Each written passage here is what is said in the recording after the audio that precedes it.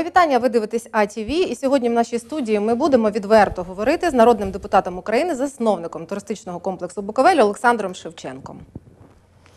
Вітаю вас, пане Олександре, в нашій студії. Вітаю, дякую за запрошення вашу прекрасну А студію, чи саму головну студію, що літера А вона перша. Дякую за запрошення до прекрасного міста Суми. Я дуже задоволений, що ви запросили. Я думаю, що спілкування, як мінімум, для вас буде цікавим, а потім подивимося, можливо, і Шевченко Олександр Леонідович народився 8 квітня 1971 року в місті Коломи Івано-Франківської області. Здобув кваліфікацію радіоінженера в Чернівецькому державному університеті імені Федьковича. Трудовий шлях розпочав монтажником радіоапаратури. Пізніше очолював декілька підприємств. Народний депутат України 7 та 8 скликань. Член президії партії Укроп. Автор ідеї та засновник гірськолижного комплексу Буковель за сім років перетворив чи не найдепресивніший регіон України на одне з найбільш відвідуваних у східній Європі місць відпочинку. Благодійник і меценат. Одружений, має шестеро дітей. Сьогодні Олександра Шевченка знає вся Україна саме завдяки туристичній перлині Буковелю. Чимало жителів нашої області в рамках ваших благодійних турів побували в самому серці Карпат. Проте ви на Сумщині, певно, вперше. Вперше, так, це правда. І в місті Суми, і на Сумщині вперше. Ну так стало, що якось в цю сторону, враховуючи, що я народився в Західній Україні в Коломиї, то якось не доводилось приїжджати. Ну от партія Укроп, і ви сьогодні саме не випадково е, на Сумщині у Сумах е, за інформацією вашої прес-служби, першою серед політичних сил України проводить публічні президентські праймеріс. Так звані внутрішні вибори, якщо я вірно розумію, да? от яка їх головна мета все ж таки? Перше, вже трошки показати українському народу, що все-таки демократичні принципи це коли змагаються сильні, сильніші серед сильних, скажімо так.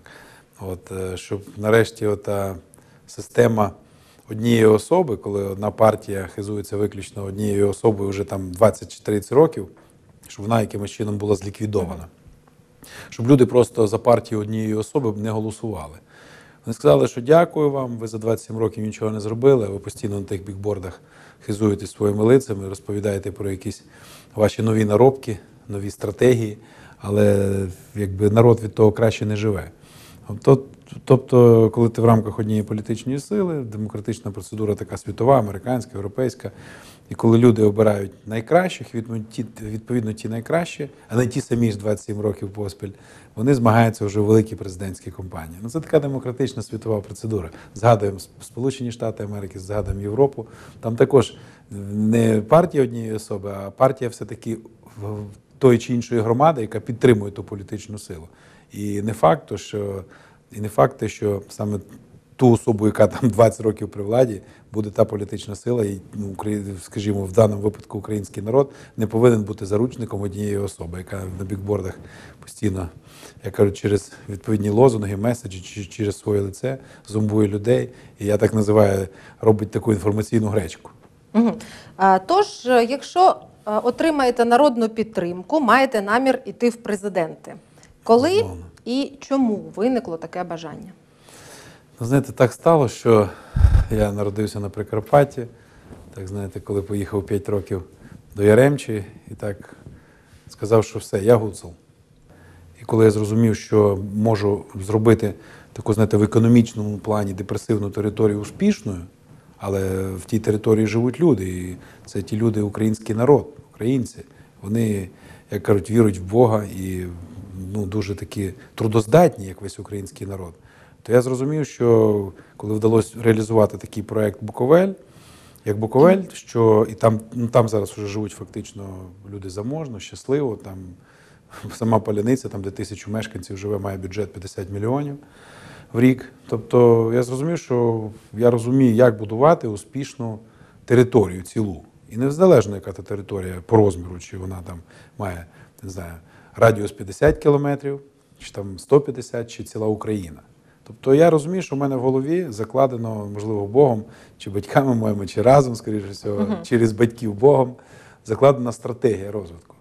Тобто, е, ну, дуже просто, коли ти не думаєш, як украсти, а думаєш, як, скажімо, зробити інших успішними, відповідно, дуже просто таку стратегію в голові мати. Відповідно, я її маю. І завдячуючи Тарасу Шевченку, е, про- пророку нашого українського народу, я отримав таке прекрасне прізвище, що зганьбити його точно не можу і не маю права. Відповідно, я зрозумів, що український народ живе ну, в жахливих умовах. Пенсіонери дійсно ну, на грані вимирання чи виживання. Молодь практично зараз ми знаходимося на Сумщині, практично 90% виїхала за кордон. Дійсно, на нашій зустрічі в рамках нашого праймеріс були більшість людей, скажімо, такого ну, скажімо, Поважного віку. поважного, солідного віку, наші такі метри, наші ті люди, до яких треба прислуховуватись.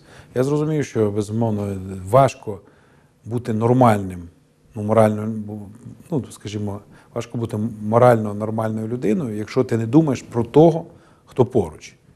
Адже навіть святе письмо, письмо говорить про те, що те, що ти маєш, все від Бога. А те, що ти зробиш для інших, то для Бога. Тобто, відповідно, коли мене там, як дай Бог, що заслужу, будуть чекати, як будь-який хірург, коли він не має інструментів, відповідно, він не може зробити добру операцію. А Шевченко, як президент, він буде добрим, знаєте, буде мати добрий скальпель, такий сучасний, найкращий в світі, щоб оту ракову пухлину, яка називається корупція, от ви знаєте, владне панібратство, просто зліквідувати і вирізати назавжди.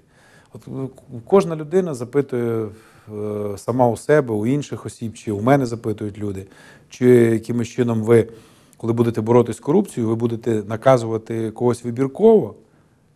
Я кажу, я наказувати взагалі нікого не збираюсь. Я збираюсь, щоб закон був один для всіх. Чи то для Шевченка, чи для мого брата, чи для моєї батька або матері, чи для моїх друзів. Закон повинен бути один для всіх.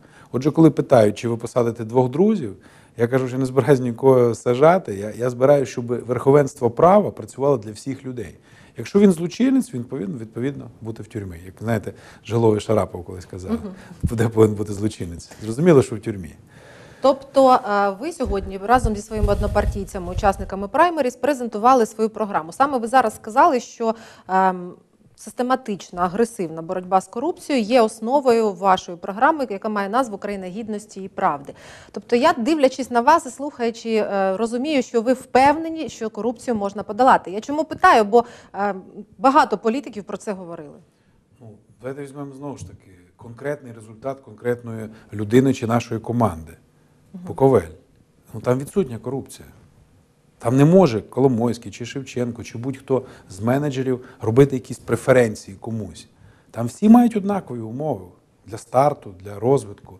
Там же не, не тільки, знаєте, я і мої компаньйони, які фактично інвестували Буковель, його будували, мають якісь можливість розвиватись. Там кожна людина, якщо ти даєш добру пропозицію, йдеш і розвиваєшся. Чи як менеджер проєкту, чи як інвестор проєкту.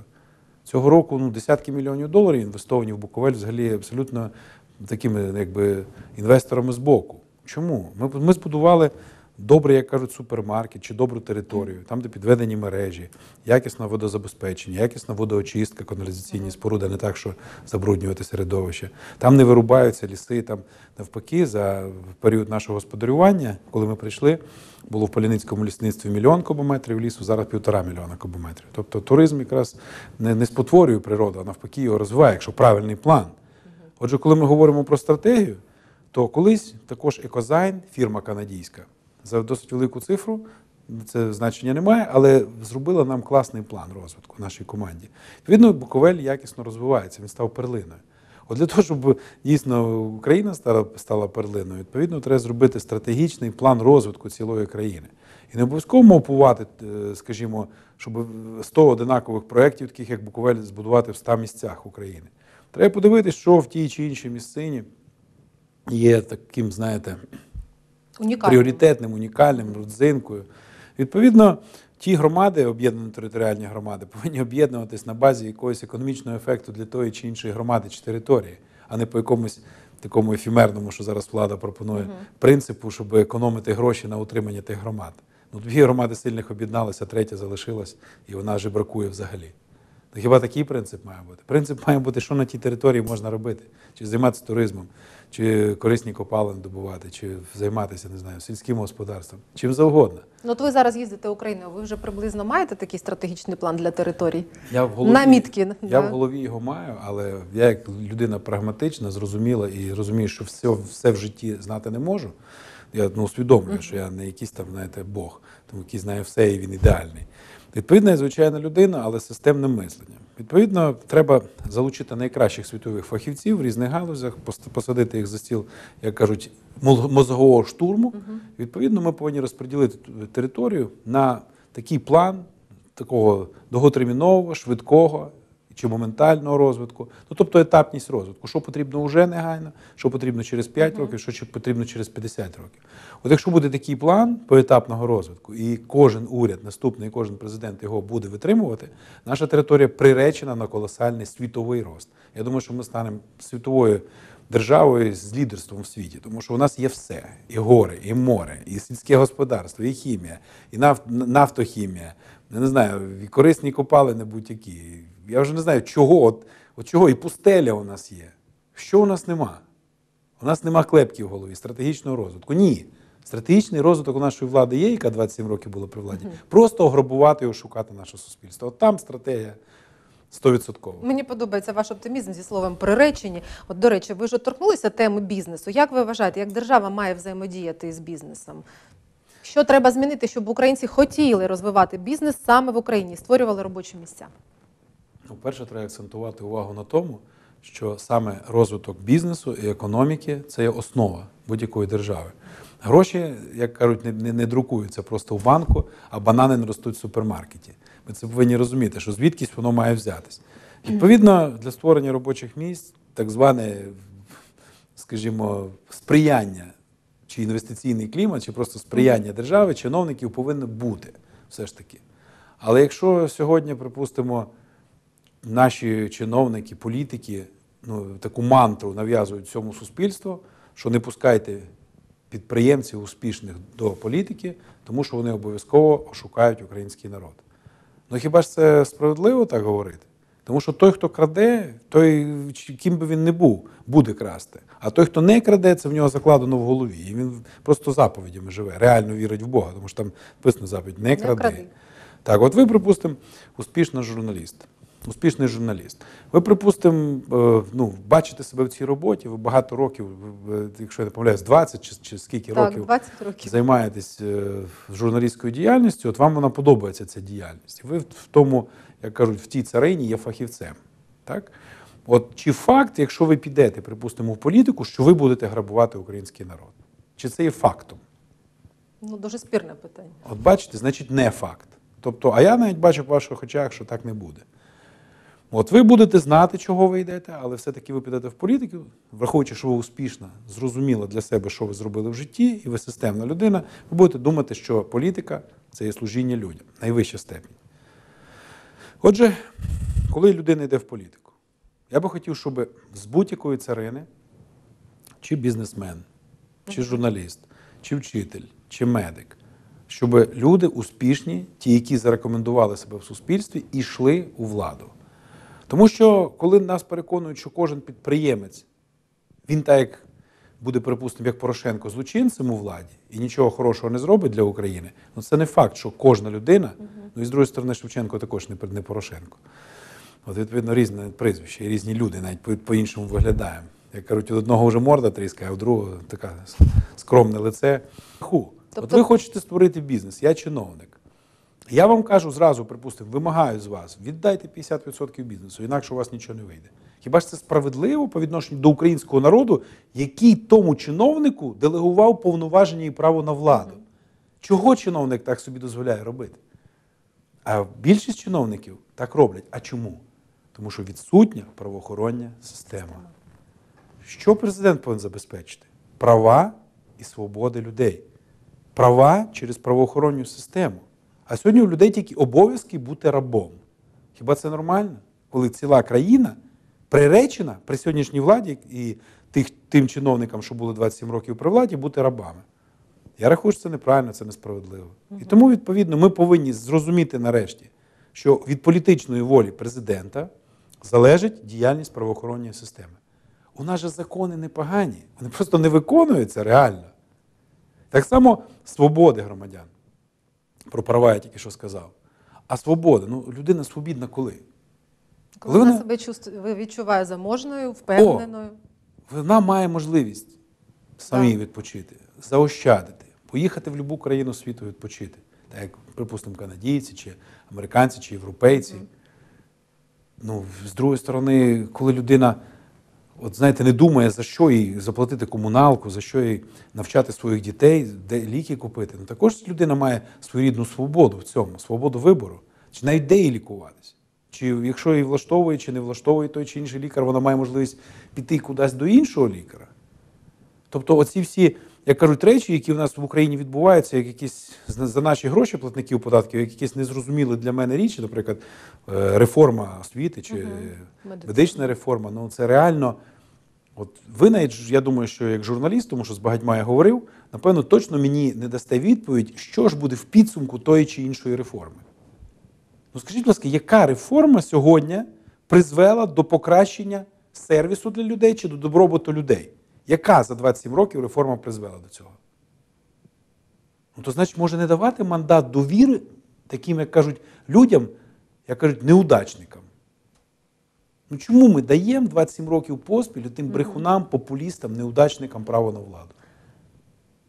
А тільки тому, що ми дивимося виключно на одне: що написано буде на бікборді, що політик, коли пише, що він пропонує перед виборами, ми не контролюємо, чи він виконав ті всі зобов'язання. Як може сьогодні дивитись в лице людям той президент, який сьогодні є, і ті політики, які 27 років брехали людям і досі при владі? Як вони можуть дивитися, якщо вони практично жодного пункту не виконали своїх програм? А саме головне, не забезпечили права і свободи громадян і добробут громадян, і не забезпечили справедливе суспільство, не забезпечили соціальні гарантії і безпеку людям. Сьогодні можна йти по вулиці, упасти в каналізаційний люк і зроблять так, що начебто ти на той люк напав. Ну, я ж не знаю, у нас сьогодні у влади якісь такі теорії неймовірності, а не теорії ймовірності. Пане Олександре, от е, я так з того, що ви говорили, зараз зрозуміла і зможу процитувати навіть вашу програму. Ви хочете, маєте намір побудувати просту країну без бюрократії. Да? От ми про щойно про це говорили.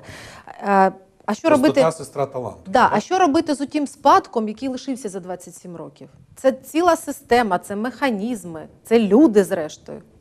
А знаєте, там в програмі написано, треба об- обігнати не наздоганяючи. Це така глибока філософська фраза, так? Але вона дуже проста. Я згадую завжди звичайний телефон такий, знаєте, що був колись раніше. Мобільний телефон. От, неважливо, Nokia чи інша фірма, от якийсь такий мобільний той телефон. І потім, завдячуючи Стіву Джобсу і нашому українцю Возняку, вони зробили компанію Apple, вимислили смартфон. Скажіть, будь ласка, в них була мета от той старий телефон вдосконалювати? Чи вони просто вивчили, що люди хочуть, і відповідно зробили смартфон? Тепер користуються 99% людей смартфонами. Що ж вони зробили? Вони просто зрозуміли, що от, ну, знаєте, старими стереотипами більше жити неможливо. Отже, вони чітко і ясно зрозуміли, що світ змінився за той час. Для чого нам реанімовувати ту систему корупційну чи її вдосконалювати? Що ми зробимо? Ще більш вдосконалену корупційну систему? Чи можливо просто треба зупинитись, сказати Окей, стоп, подивитись, який є досвід електронного самоврядування, скоротити на 90% всіх чиновників і змінити їх на комп'ютери. Ну, комп'ютери ж не брешуть, раз в три роки міняє все. В яких сферах тоді знайти роботу чиновникам, посадовцям? А я вам хочу сказати, що якщо будуть створені нові робочі місця, то чиновники залюбки підуть на нову роботу. Тому що сьогодні ті чиновники також заробляють крихти. Питання не в тому, що вони є злочинцями чиновники. Питання в тому, що вони неефективно управляють тим чи іншим процесом. А чи можуть вони ефективно управляти тим чи іншим процесом, якщо вони також заробляють крихти? Вони неефективно працюють. У нас вся країна працює як в зоні від дзвінка до дзвінка. Тому що ми вся країна рабів сьогодні. А в рабі, рабів в рай не беруть. Тому ми повинні в період виборів помислити. Ми повинні чітко і ясно усвідомити, що якщо ми далі не хочемо бути рабами, ми повинні на виборчій дільниці свої в період виборів зробити цілковиту і остаточну люстрацію всіх тих, хто був при великих кабінетах 27 останніх років. Угу. Нові обличчя, нові люди, нові. Так, але не будь, Мислення. не будь-хто.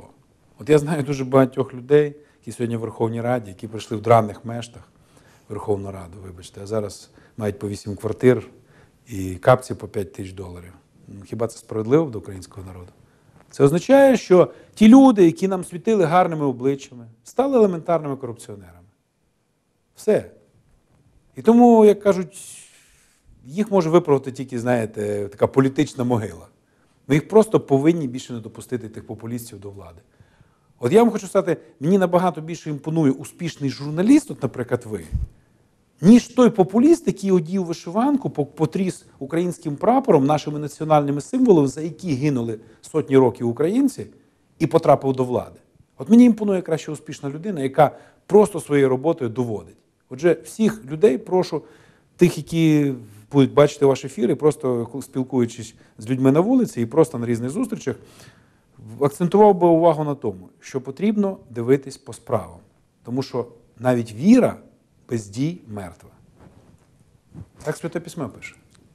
Одне з головних завдань вашої програми створення сильної держави, яка зможе уникнути великої війни і поверне Крим і території Сходу на Україні. Яким чином ви маєте план і впевнені в його успішності? От припустимо, ви в Криму залишились жити. Ви там живете і ви пенсіонер. У вас там пенсія і соціальні гарантії кращі, ніж на Україні. Скажіть, будь ласка, ви захочете повертатись назад? Ну я ж не пенсіонер, не можу сказати. Ну, припустимо. Напевно, що ні. Люди, які мають гарні кращі можливості, навряд чи. Скажіть, будь ласка, коли сьогодні в тій самій Російській Федерації заробляють люди більше, ніж в Україні, і там мають кращі соціальні гарантії і безпеку, ніж в Україні, чи будете ви хотіти бути частиною України? Я вам говорю про Ордло, по окупованій території. Напевно, що ні.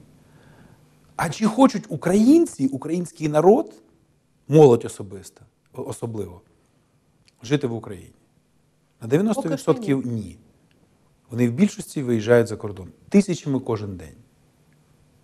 Скажіть, будь ласка, а без розвитку економіки, чи дійсно наша країна відбудеться?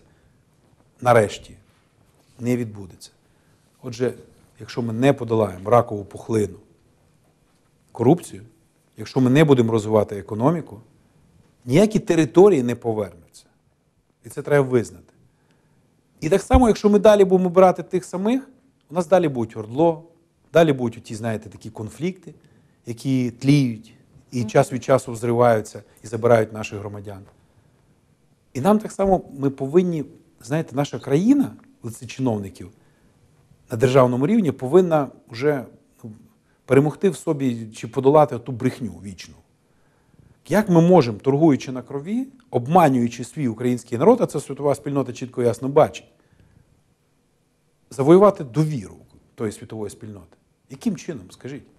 Як може Меркель чи там Трамп повірити нам і дати, припустимо, своїй армії своїх країн, щоб поставити такий заслон перед армією Російської Федерації, яка є точно в десятки разів сильніша, ніж українська армія? А чому наша українська армія не розвивається? Хоча на бікбордах президент розповідає про армію там, і так далі. А тільки тому, що гроші на армію просто розкрадаються. І не тільки на армію. От якщо ми поставимо заслонку з тих сильних армій, навіть можливо, ізраїльська армія може захоче нам допомогти, якщо повірить нам, то відповідно ми будемо мати час, щоб створити економічні передумови, розвиток економіки і відповідно збудувати сильну армію. Що буде передумовою розвитку економіки? Свобідний ринок, коли кожен громадянин, український громадянин, тому що основний інвестор і власник нашої країни це український громадянин. 40 мільйонів українців по тисячу гривень це 40 мільярдів гривень в місяць. Уявляєте собі, то хто головний інвестор? Український громадянин. Коли український громадянин повірить нашій країні, буде в своїх телефонних дзвінках чи по інтернету казати, у нас класна ситуація, прийшов президент Шевченко і відкрив можливості українцям. Він перестав грабувати. Він забезпечив правоохоронну систему, коли правоохоронець, міліціонер, чи поліцейський, чи прокурор, чи суддя, вони бояться порушити закон, тому що їх зразу до в'язниці кинуть. Розумієте, коли така ситуація буде, тоді буде розвиватися економіка, і тоді будуть передумови будувати свою сильну, незалежну армію, відповідно, країну. Без сильної армії, вибачте, завжди ми будемо очікувати армію інших країн у себе на території. Певно, сильною економікою відпаде і одвічна проблематична тема дороги. Да? От на ваш погляд, скільки часу е, треба, аби в Україні були нормальні дороги? Я не маю на увазі там головні магістралі траси, а отак, дороги до райцентрів, до сіл, до Давайте маленьких будемо говорити про все загалом. Тому що без магістральних доріг, як без артерій, також не буде розвиватися Не буде, нічого. звичайно. Немає сенсу будувати якусь маленьку бічну дорогу в якомусь селі, якщо немає магістралі. Нелогічно. Так от, я беру на себе зобов'язання, якщо я стану президентом України, три роки всі магістральні дороги регіонального і державного значення на протязі трьох років. На протязі, підкреслюю. І на протязі, паралельно, на протязі п'яти років всі регіональні, міські, сільські, будь-які, е, скажімо, малесенькі вулички, малесенькі доріжки в селах чи селищах. Отже, але з десятилітньою гарантією. Для того, щоб через 5 років жодна дорога ще не почала навіть розвалюватися. І ми поступово, якісно підтримуючи ті дороги, нарешті вже почали будувати автостради, вже почали будувати ну, такі потужні економічні артерії нашої країни. Адже вона має колосальне геостратегічне положення. Але його ніхто не використовує, тому що десь там, знаєте, по різним хотілкам депутати пиляють собі гроші, неякісно роблять, і дороги розвалюються. Зато тих, хто дійсно будує якісно, от Буковельська фірма ПБС має десятилітню, дає десятилітню гарантію на всі свої роботи. Зато, завдячуючи те, що президенту не подобається критика з моїх вуст і моїх компаньонів, відповідно, вони, як кажуть, ми маємо такий спротив зі сторони влади, і, відповідно, як кажуть, СБУшникам і іншим правоохоронцям в лапках дають фас, щоб якимось чином принизити, щоб якимось чином показати, продемонструвати силу, без вини звинувачують. А знаєте, чому це все відбувається? Тільки тому, що ми ніколи не будемо носити їм хабарі. Ми ніколи вже, знаєте, самі не будемо злочинцями і ніколи не були. Тому що все ж таки ментально кожна людина мала би змінитись в 2014 році. Коли загинула Небесна Сотня, коли тисячі людей, десятки тисяч загинули у тій трагедії, яка зараз іде на Сході. І ще раз хочу підкреслити: ми ніколи не зупинимо трагедію українського народу, доки ми не станемо самі собою, доки ми не будемо бачити позитиву у себе в країні. Я маю на увазі перспективного позитиву і самі боротися за той позитив. Поки ми не будемо говорити, що краще там, де нас нема, що в Америці краще, а у нас погано. Так, воно зараз погано. Але що ми конкретно зробили, щоб стало краще? Чи тільки ля-ля-ля? Отже, якщо ми не будемо думати, кого обирати, так ніколи добре жити не буде. Ем, Я вам дякую за таку цікаву розмову. І все ж таки наостанок три основні кити, на яких будується успішна країна від Олександра Шевченка. безумовно правоохоронна система, яка забезпечує правила гри. Безумовно, безумовно, це знаєте, така суб'єктність нашої держави на світовому ринку. Тобто, що не про нас говорять і не нами торгують, А ми про це. а що ми про себе і ми є суб'єктом, головним суб'єктом переговорів, що ми за себе самі все вирішуємо. Відповідно, народиться в суб'єктності довіра до українського народу, до України і до її, як кажуть, керівників. Це такі два пункти. Ну і безумовно, на основі цих перших двох пунктів розвиток колосально сильної економіки. Стабільно, яка стабільно росте. От на базі цих трьох речей ми збудуємо сильну армію, ми збудуємо щасливе суспільство, і ми повернемо всіх тих людей, які є сьогодні українською діаспорою. А замисліться, такої діаспори сьогодні 20 мільйонів людей. Я вам дякую. А нашим глядачам хочу нагадати, що сьогодні в студії телеканалу АТВ був народний депутат України від Українського об'єднання патріотів УКРОП, засновник туристичного комплексу Буковель Олександр Шевченко. На сьогодні все. Втім, лишайтеся з АТВ, де завжди актуальна, тематична і вчасна інформація. На все добре. Дякую.